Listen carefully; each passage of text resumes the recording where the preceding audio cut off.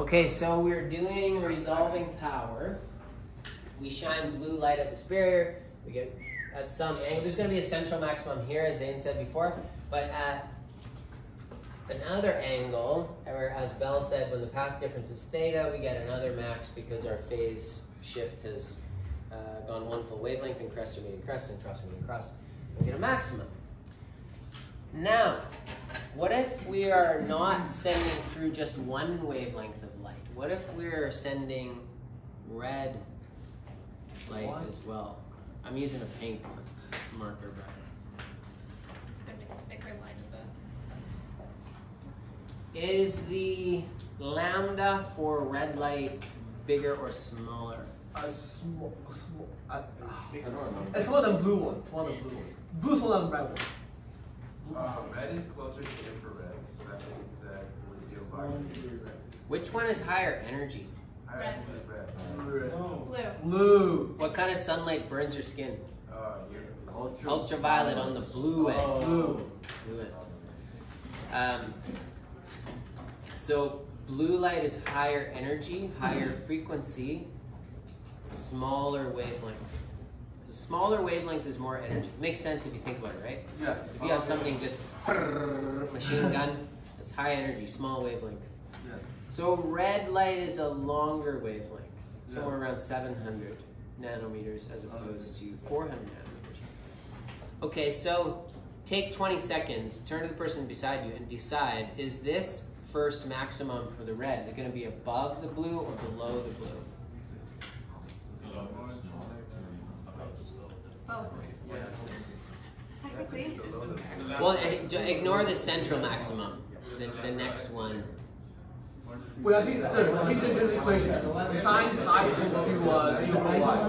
Smaller. Uh, the lambda is d sine theta. the theta. angle's gonna be smaller. No, no, this equation is sine theta equals to d over y. It's gonna be lower. It's gonna be lower. It has to. The, the red maximum is going to be lower than the other one. The, the theta will be greater. No, the, the, the distance between. The distance between the slits is not changing, Oh, right? so this D. Yeah. So if lambda is raising, my theta has to go up as well. And that makes conceptual sense if you think about it. If my path difference has to be lambda, and my lambda is bigger, I need a bigger path difference. Yeah. So my angle will be bigger. Does that make sense? Yeah, wait, the, the red is a larger bit. Larger wavelength. Oh, uh, I thought I was seeing smaller. Okay. Alright.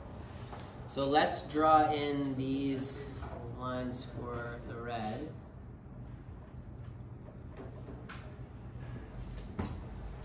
And you'll kind of see that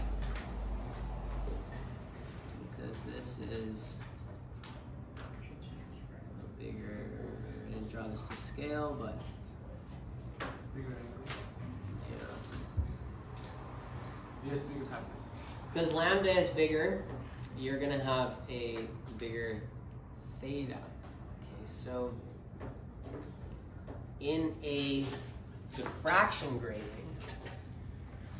you are going to end up if you if you put white light through a diffraction grating, you end up seeing the different wavelengths of light. Yeah. Okay. So just get your hands on one of these. Just pass those around. Those are spectroscopes. Denise, can you chuck me one of those?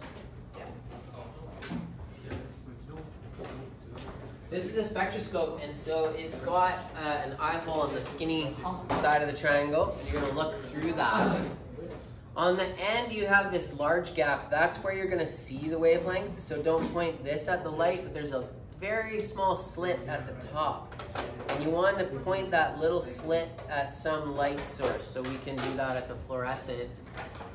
And if you get the fluorescent in the slit and you look down at the bottom, you will see the spectrum of the fluorescent light. Oh my.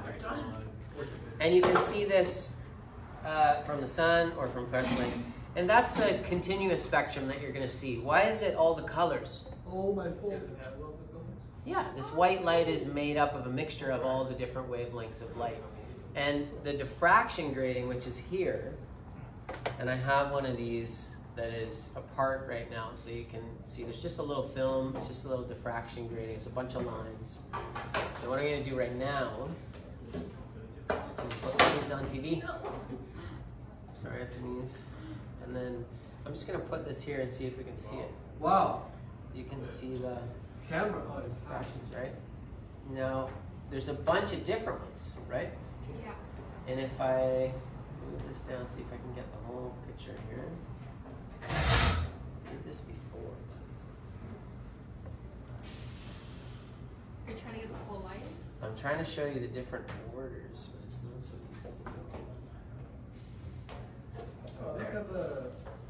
Can you- Lights only show the higher levels, which is. It's only PvP. Can you see? Oh, Oh, yep, yep. Can you see in the foreground there's some big bright lines, but then in the background there's some as well? yeah. Yeah. And then behind the background there are others as well. And then behind that background there's others as well. Do you see that? Yeah. They go way up there. Oh wait wait. What was a big oh, chunk of light? There's like different fields of spectra, right? Yeah. Those are the different orders. So with a diffraction grating, instead of having just two slits, you have a whole bunch, right? And so you have the lines from these two slits are interfering, but also this is interfering with the third one. Different theta, and with the fourth one, and and so you have all these different D's, right? All these different distances between the slots. And so you get these, all these different, uh, we call it an order. So it's all these different orders of interaction. Okay. If you are wondering, okay, Mr. Espan, great, what do I need to know? This is what you need to know. R is resolving power. And that is equal to the average wavelength that's incoming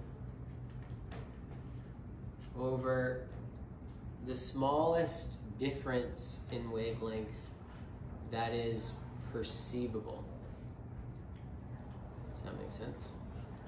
So if you look up here at our drawing, you have blue light and you have red light, right? How do you find the average between blue and red?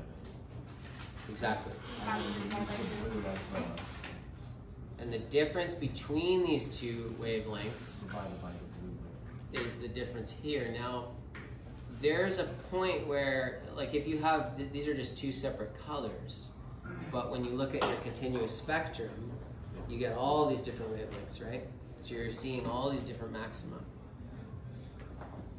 There's a point where these two are so close together that we cannot resolve it. Just like when you poke your skin, if it's close together, that looks like one thing. So if these lambda are really close, you're gonna have your two maxima are gonna be super close, and it's just gonna be one, one maximum. So this delta lambda is the smallest difference that we can distinguish between. Does that make sense? That is also equal to m, which is the order. So this is, if you're looking at this, the, the slits beside each other, that's second order, or the third, or the fourth, or fifth. Times the number of actual slits in the grating. So this we call order. Normally, if IB throws one of these on an exam, they just tell you which order you're working in. But they will make you work out the number of, we call them rulings. Um, or, or just lines in the diffraction grating.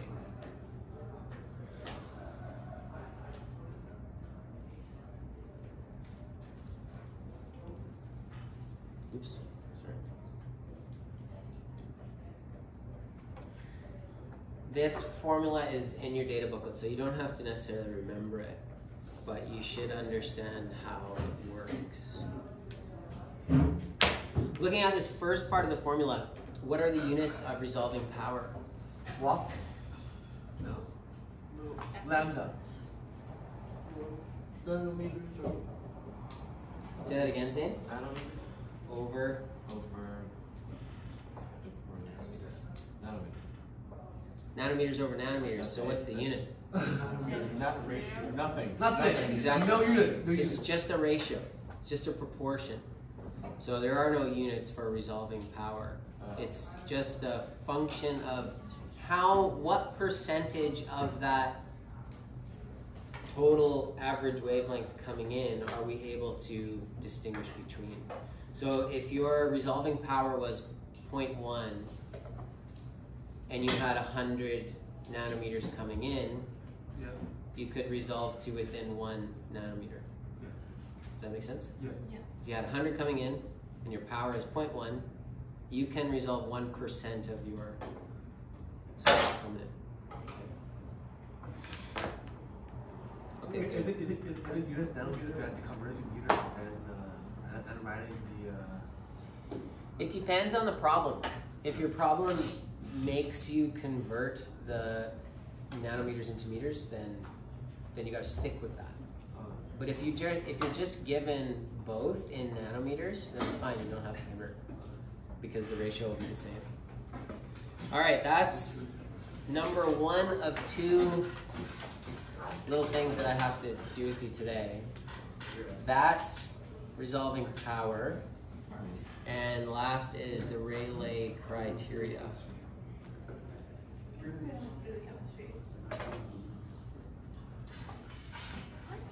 Is he close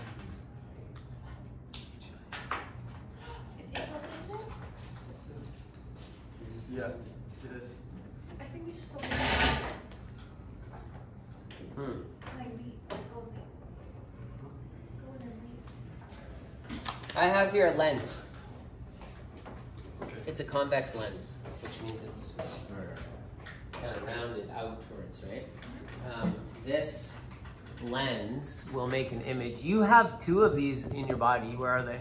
Eyes. In your eyes, yeah. What are you I'll see if I can catch this on the video. I don't know if I'll be able to. We have light coming in through the window, yes? Yeah. Okay. Um, do you guys want to come look this? Yeah, come on. Come on, class, come over here. What's going to happen to the rays as they go through this lens? Bill, maybe just give the phone a... Uh, come on over here, Bill. Come on, you can stand here. Okay. Yeah, they're going to hit and refract and curve in, right? Where those beams come together is called the focal length. Thank you. Focal length of this lens. So right here, it's unclear, right? But if I move this closer to the paper, you can see that. So that is a real image. Can you see it on the back too? Yeah. What do you notice about that image? It looks like a triangle. It's like a triangle. Look at it from here. Oh, it's like a reflection of the. It's upside down, right? Is it a reflection of the window?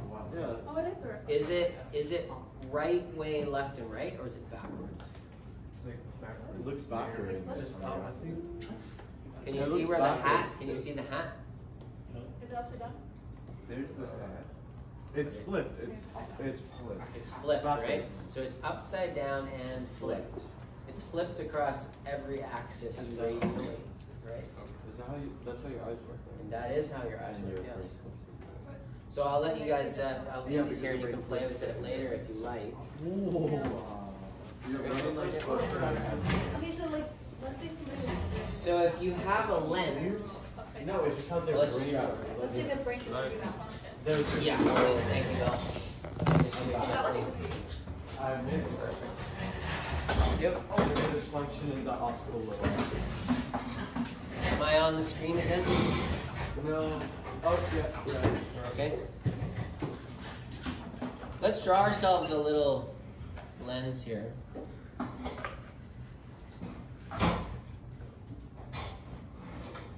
Uh, a little piece of trivia. I, I forgot to tell this to my other class.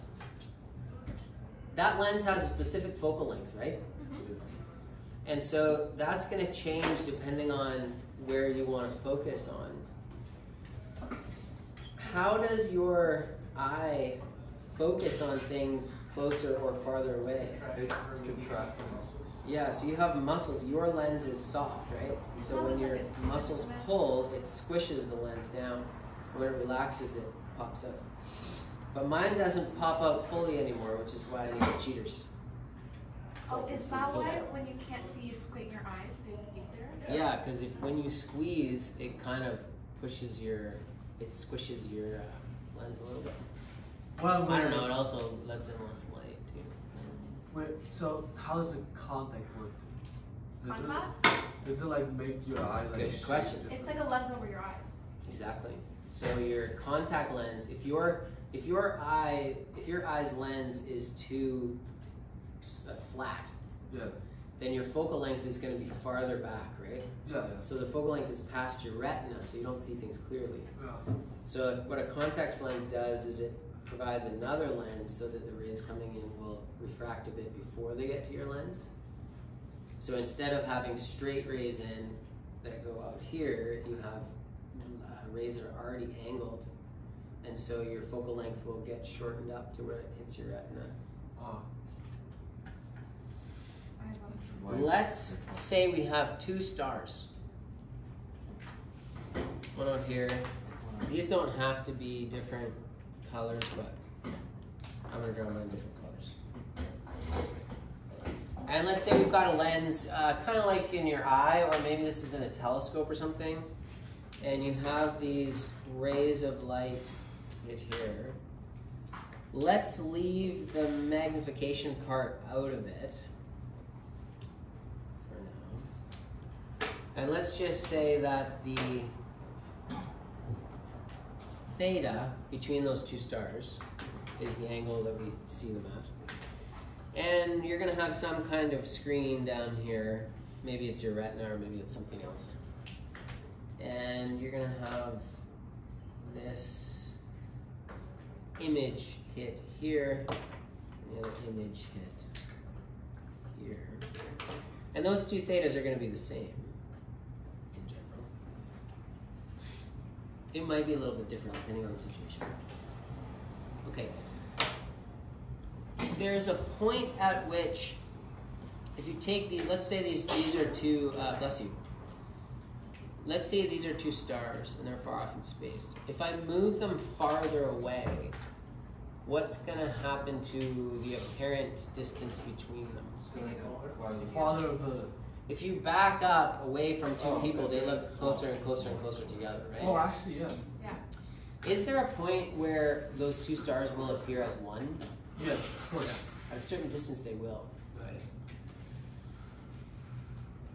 Our job is to define where that point is and how that works.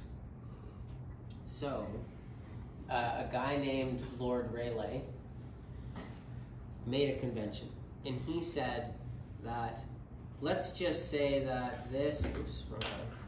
Let's say that this is your diffraction pattern from the yellow star.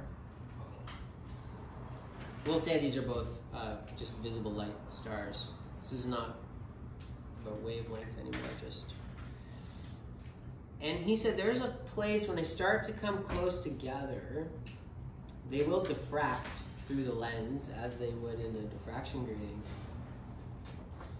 And there's going to be a point where they start to come together, and it's it gets it gets a little gray. There's a little gray area there. Of, okay, when they're when their two maxima are like super close together, it looks like one thing, and then when they're far apart, it's definitely two things. So where is that point? And Rayleigh said, well, why don't we take two defined places and make make that our barrier? So if you take the first minimum of the one wave and you draw the maximum of the next wave over top of that. And that's where. Zane? Crest. That's where chalk meets like crest, right? Exactly. This is going to be the place where these two waves are just barely resolved. So what's going to happen if I move them closer together? Becomes one. Yeah. Then we cannot distinguish anymore. If I move them farther apart, Zero. Then they're two separate things. Oh yeah. Okay. So, let's write this down. See if we can explain this properly. So when one wave's central maximum, we'll call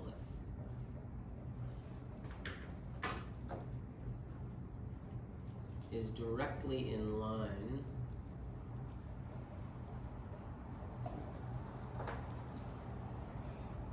with another wave's first minimum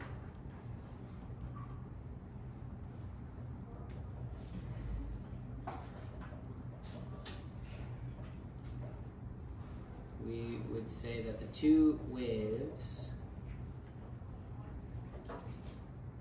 are just barely resolved.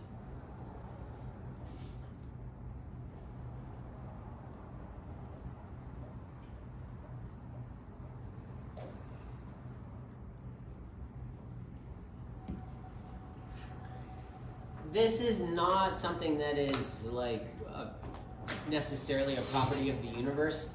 We just needed a place where to kind of draw the line.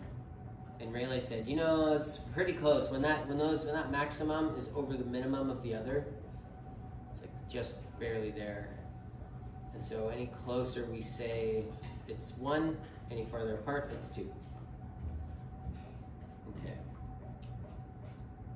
There is a formula for this actually. We can do this mathematically. And here's where you have to trust me a little bit. The theta here, when just barely resolved, is equal to 1.22. And the 1.22 is solvable, but it's complicated. We'll talk more about this later because there are some kind of surprising connections with resolution and the rest of physics. It's not just a waves thing. And we're gonna put that over D. This D is, it's not the, um, it's not the distance between the slits because this is a lens. This is the diameter of the lens.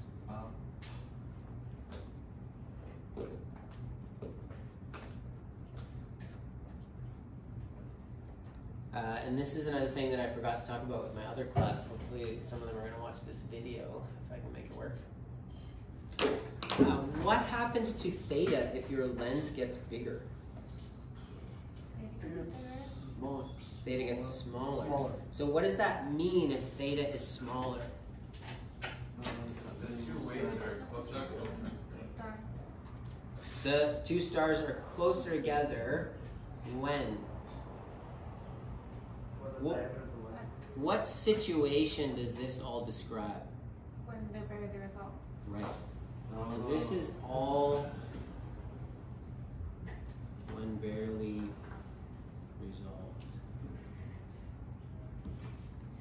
Okay, so if are- are we gonna be able to let's say we have two stars and we're looking at them and they're just barely resolved. If I look at them again with a bigger lens, am I gonna be able to see them as two separate things or are they gonna go together as one?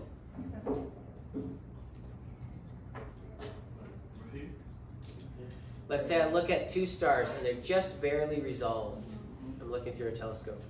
And then I go out and I spend John's money and I get a bigger lens No. and I look again. Are those stars going to combine as one or am I going to see them separate? Combined. I would say it's separate because you can see closer to, to the stars. You Your intuition is correct, Denise. They're going to separate. You're going to see them higher resolution. How does that work with the math here? This got Yeah, bigger. I told. Yeah. How? This got bigger and theta gets Smaller. smaller, which means you can see barely resolved things at a smaller angle. Okay, so your your precision of resolution just got better. Oh. Does that make sense? So let's say you're using a small lens and your theta is big. These two things are just barely resolved. Right? I increase the size of my lens, my theta is smaller, and here they would be barely resolved. But they're still out there, the stars have not moved. So now I'm seeing them separate. Ooh, nice, clear detail. Does that make sense? Oh, but it only changes one day Oh yeah, if you move them farther and closer, then everything changes again. So that's just, the stars don't move. So if you have a bigger, so if you want to see things really far away, You get a bigger, bigger lens. you need a bigger lens. So now we're now we're James James Webb, right? Did you see Jupiter on Monday? I did, yeah. Wasn't that cool? Beautiful. Doesn't it depend on the, Beautiful. Sorry? doesn't it depend on the, I was gonna say, Doesn't it depend on the? correction of the lens, like doesn't the lens, can the smaller lens can be like more optimized so it's at the same effect as- Yeah. So this is I'm giving you a very simplified version. Um, most telescopes have two lenses, right? So down you're here and one up. you're um, kind of leveraging the properties of the lens, right? You can have more than two, right? Tons. Um, but in general, a bigger lens is going to give you a better resolution. And of course, why is James Webb Telescope? Why is it in space? Why do we need it to be in space? James Webb is looking at things very far away and very much in the past. What? Yeah, because. It's looking at the past? Yeah. I think because So, the atmosphere, This is right? a really stupid question. No, go ahead. So, Can this telescope put a camera on it? Could it take a picture of the of like my Yes. dead Yes. like Yeah. dog from like five years ago? No. Theoretically, yes. It's too far, it's too far. away, so the time it Yeah. travels is Yeah. five years. I feel Like the you have to be far away. Like, distance, you zoom in on. In real life, present day, no. But theoretically, yes. So if you could figure out a way to travel faster than the speed of light, like And if then I get could there. put you five light years away, like that. If Somehow we figure out how to bend space time and we just go, Panese goes, whoop, jump out here now. You could turn around and look back, which we can't. But if you could, you could turn around and look back at the Earth and you would see the Earth five years ago. And like And that's what the telescope is doing right now? Yeah, so when you look up in the night sky, do you see stars as they are right now? No, you see them whatever light years they are away. It's the same, if the Right. sun, if the sun explodes, I'll oh, hopefully like see it explode like seven minutes later or something. That's right. Yeah.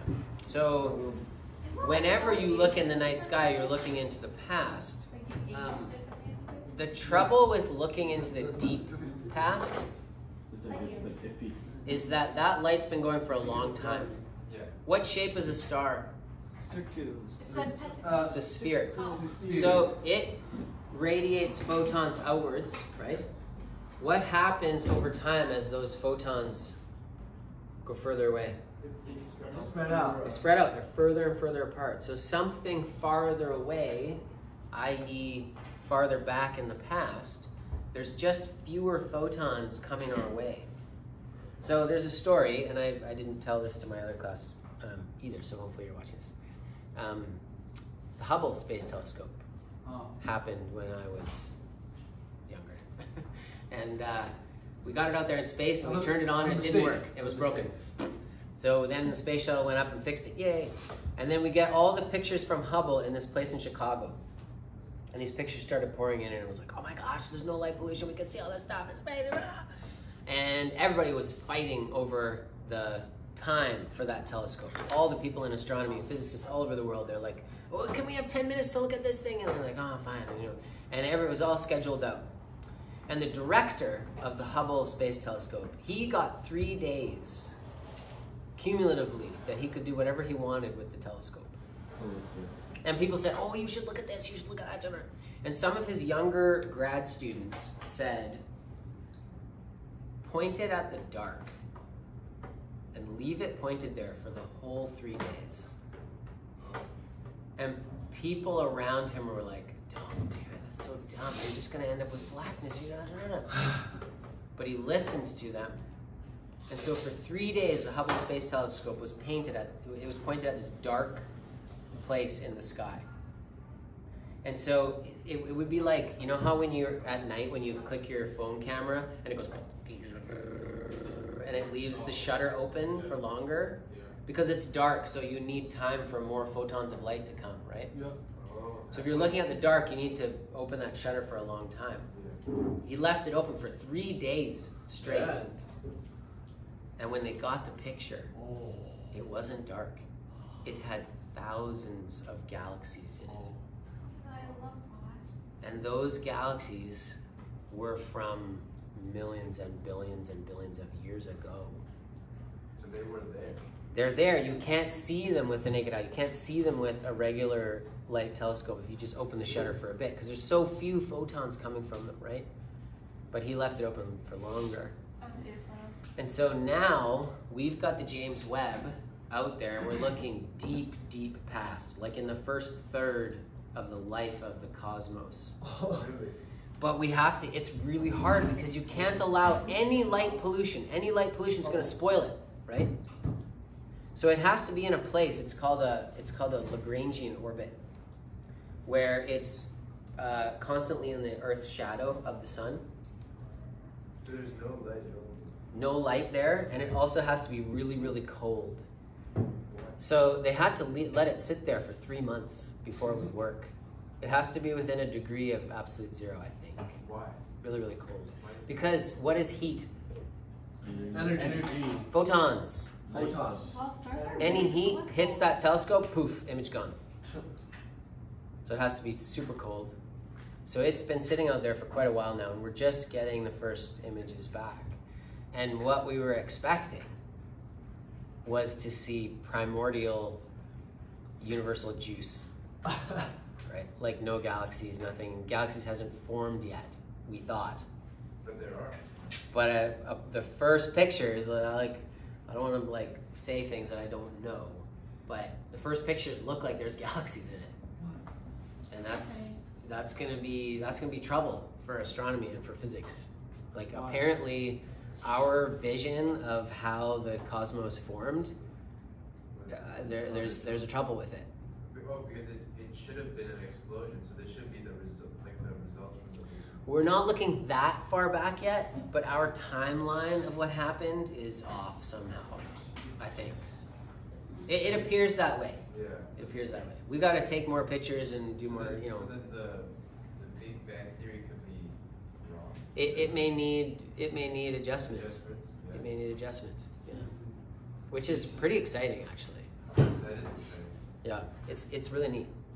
Um, sometimes you think you got it all figured out, and then you go out and experimentally test it, and it's you didn't have it all figured out. You know, which is kind of what astronomers were hoping for, right? We're hoping for experimental evidence that will push us in one direction or the other.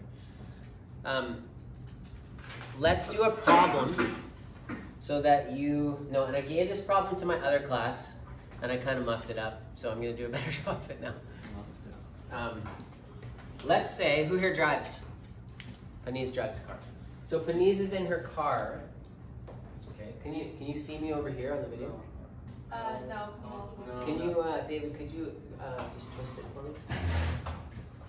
Denise, what kind of car do you drive? I drive a red, um, really, really old Chevrolet. Oh, it's Chevrolet. My Chevrolet. Yes. Okay. Sheesh, John.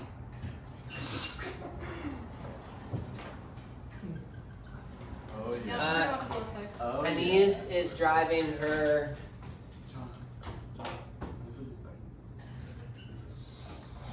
this back. her uh, red Chevrolet, and she's got her beams of headlights.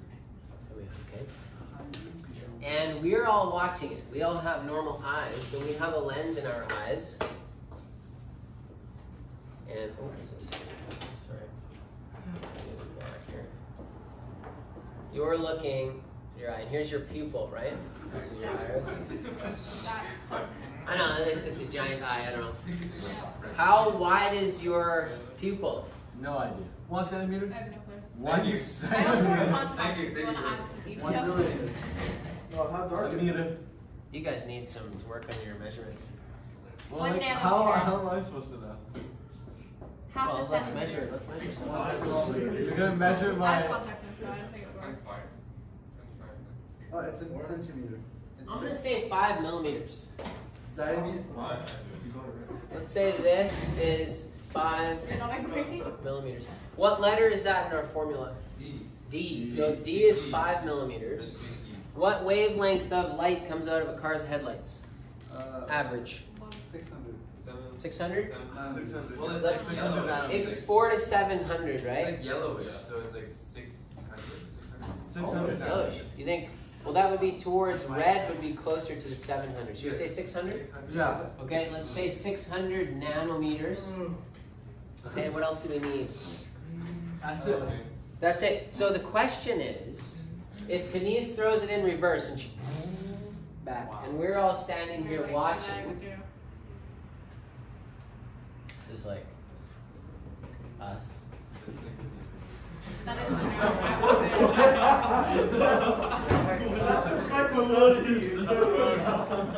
like a nightmare.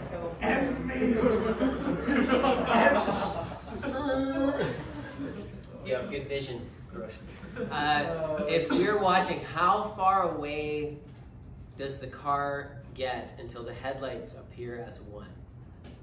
So you have to put it in a formula, and then that Ah. will eventually have to equal, the formula has to. So eventually, you're gonna have this lambda from this is one headlight and the other headlight, right? It's gonna be zero. Uh, this angle is gonna be small, right? Yeah. So we we were doing like sine and tan and stuff for this, but it's a small angle. So basically, you say if this is the length to the car. Oh, we have we need this too. How far apart are the headlights? On a car? Oh wow. One meter. Like a meter? Probably a maybe? One meter? Yeah, That maybe a little how? more. Oh, that that makes sense. Yeah, a that meter. makes more- Yeah. Car's. We'll say one. That's what my other class said too. We'll say one meter. Um, this is going to be that theta is going to basically be um, one is going to equal L lambda, right? Because sine the sine of a small angle is zero. Right? Wait, Wait a minute, does that work? So it's half of No, but lambda. half. Zero point five is equal to. But yeah, some of my some of my class kids did it that way too, Bell. They, they said this is 0.5 and you went da da da da da. We could do that too. That's more precise. Oh, you want to do it that way?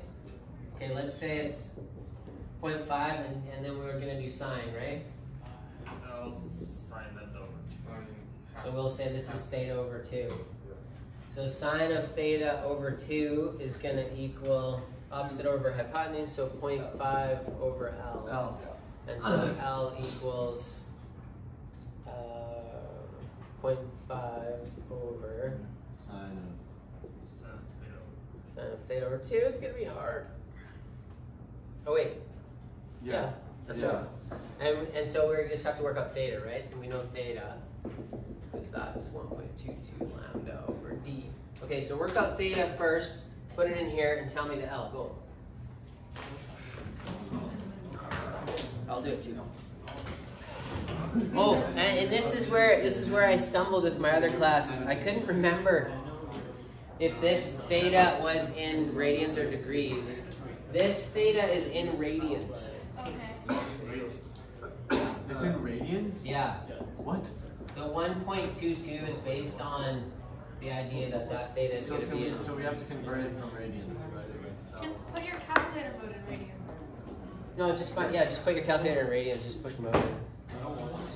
Divided by one. I don't want. times by five.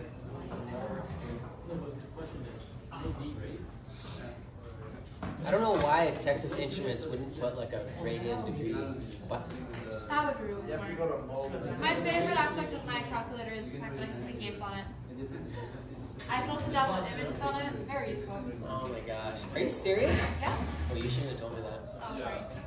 So where's the nanometer meters? Well, I. I don't know how. 10 to the big, negative like- 9. Nano is 10 to the Yeah, 9. that makes sense. For the D, what you need to get to convert it to. Nanometers, the same as uh, wavelength, right? Uh, what I would do is put this in meters and put that in meters as well. So this is going to be 600 times 10 to the negative 9 Um, meters. Yeah. And then this is going to be Times negative three. Uh, five times ten to the negative three meters. That's how I would do it. As long as they're the same, you could put this in nanometers if you wanted to. it wouldn't matter. Okay, so what's theta? One point four six. times ten to the negative four. One point four six. One point four six Yes. Four six four. times ten to the Negative four.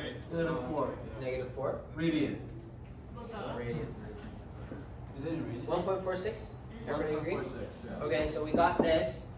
If you take that and divide it by two, and then take the sine, inverse it and times 0.5, what are you getting? Wait a minute, wait a minute. Uh, kind of uh, six, 62.3 62 point three kilometers. kilometers. What? How do you? Get that? Does that sound right? Sure. In my other class, they said it was three millimeters, and it was quite a bit less than that. It was like five kilometers. Wait, the the 16? not six point two kilometers? 68. Oh, Oh, I that's forgot to divide do you, I don't know if Oh, that should be, uh, Oh, yeah, It be because this is. yeah, I have to divide by two. Okay. I got six. Then it's, um, a hundred. Six thousand eight hundred. Yeah. 125? How is it when you divide the number it got bigger? I don't understand. You divide this in half. Which is seven point three one to, to the negative five. Yeah, but it's smaller, right? It's not bigger. big. Shouldn't it be smaller? It's smaller, it's math. still Yeah, negative divided five, it's smaller not number, negative right? four. It's negative five. Opposed. Do I have to do this? It's, Uh, it's, I divided it's by- 68, it's a- I It is 68? 68 kilometers. It is still 68. Sixty-eight. So we've gone from sixty-two to sixty-eight. Okay. Upgrading. So, my other class, they said a pupil was three millimeters.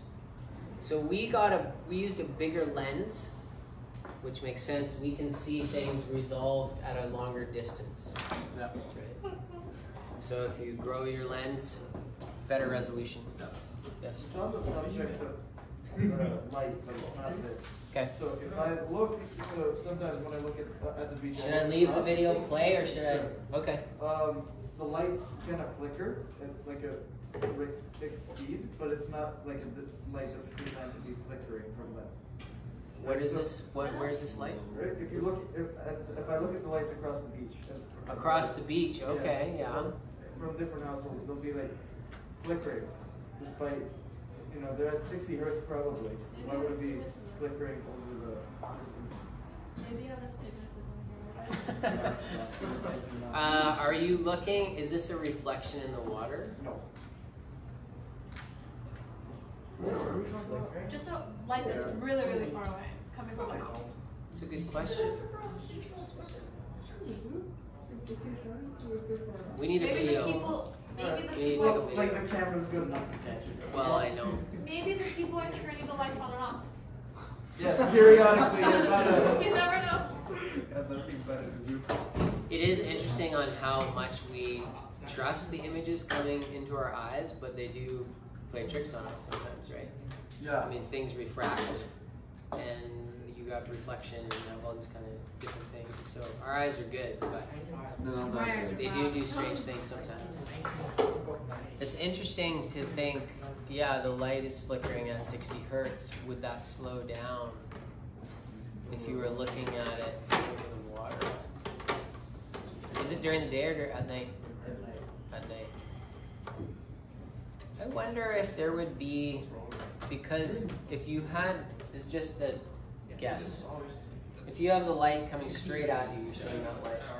But you have another beam that's coming down, hitting the water and reflecting into your eye as well. And there would be interference between there. So you get 60 hertz, but this one's taking a little bit longer to come, right? So maybe you have the difference in hertz. You're getting constructive, destructive, constructive, Yeah. destructive. That would be interesting to work out if that was possible. I don't know. Yes, Benoit? So does that mean Should you go for your that the car could be 68 kilometers away and you could still differentiate between its two headlights? Yeah. If your if our wavelength is 600 and we have five millimeter lens, and if we did our math right, then 68 kilometers away. That does sound like a long way to me. Yeah, it's a long way. I will tell you, I'll, I'll, I'll, uh, I'll fess up that this is a problem in the book. It is on, it's number 53 in the, in chapter 24, is it chapter 24 or 25? Okay. which page? No, it's not this one. Hold on. I'm guessing it's. Yeah, it is on page 790. And it's number 53. And the answer in to that problem, But we have different numbers, so same. yeah, it'll be, it's a little bit different numbers. They say they say that the headlights are two meters apart, and they say the pupil is five millimeters and the wavelength is 500 nanometers. It's a really wide car. Yeah, it is. And it Maybe asks trust like the how far. is most of the way to Yeah, that's a long guessing- way. Well, I'm guessing I know. this is like, That seems like it's too far. I'm How is guessing it this is like perfect conditions, really, really flat. Okay, so check our math over again. Did we do it right? Wait, We're what do you talking about like really flat, there's no other like interference, no hills or anything. It's probably good. I'm gonna do the math again. I got, I got. I thought so. You did it again? Same, same. And then if you divide that by, uh,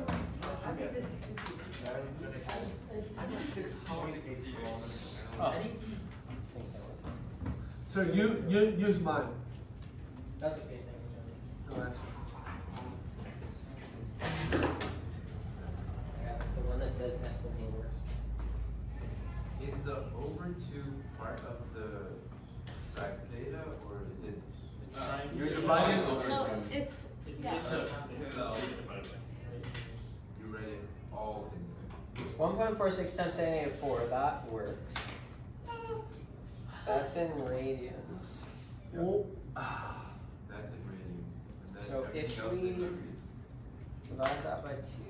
Yeah, it's six point, it's six thousand eight hundred thirty meters, not Yeah. six, not sixty-eight thousand meters. That's what I think. I'm not saying sixty-eight. Just a kilometer. Well, not even sixty-two I kilometers. think we need to use the decimal. It's- It's six point eight kilometers. I feel like I could see some these kilometers away. I don't feel like that's that much. No, no, you cannot. That is way too far. Oh. I feel like I could. Shoot. I'm in degree. I feel like I could. I, I converted. I got three.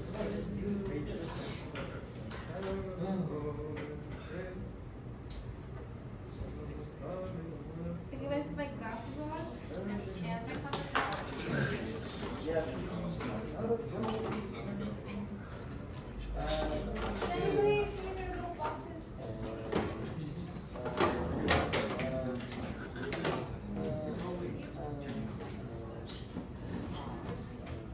Yeah, I get. No, you guys, it's 6.8 kilometers. Let's go. It's not 68,000 meters. I'm stupid. Six point eight kilometers. Okay, you know what? Kilometers is a stupid way to measure things. I got 68, I got 6,800 68, 6,800 meters. I got, I got eight meters. I, my brain didn't convert to kilometers. The rest is- So 6.8 kilometers, which Dana was right to question the 68 kilometers. But 7 kilometers, that makes kind of intuitive sense. Oh. So I think we should never measure things in kilometers. It should be you meters. should have said meters, maybe. Kilometer is a French thing, you know? You don't see it, you saw it. Uh, we use miles instead. I'm give you guys your tests back, and I will also give you some Pablo